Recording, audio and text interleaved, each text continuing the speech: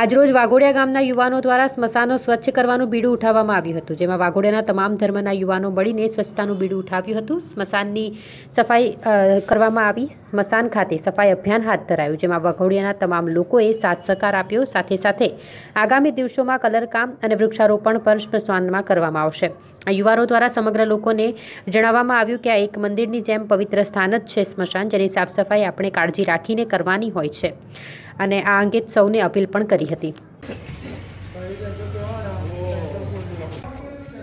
આજ રોજ વાઘોડિયા ગામમાં આવેલું સ્મશાન, જે ખૂબ જ ઘણા સમયથી બહુ ગંદી હાલતમાં પડી રહ્યું હતું, તે અમે વાઘોડિયા ગામના યુવાનો દ્વારા આજરોજ સાફ સફાઈ કરવામાં આવેલી આપ જોઈ શકો છો કે વાઘોડિયાના તમામ યુવાનો અમારી સાથે જોડાઈ અને છેલ્લા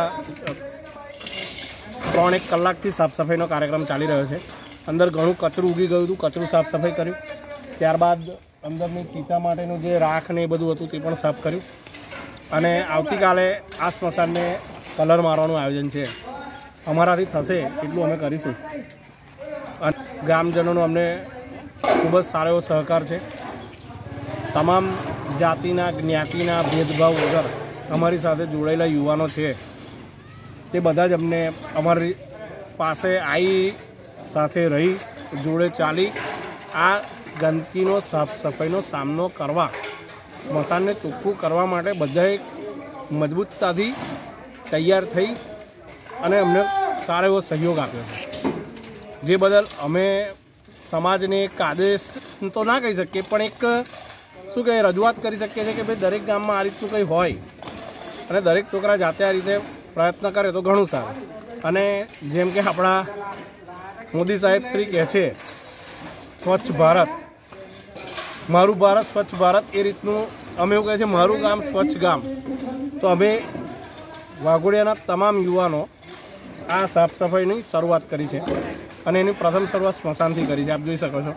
જો પૂરેપૂરું અમે છોકરાઓ બધા મળીને સાફ સફાઈ કરે છે.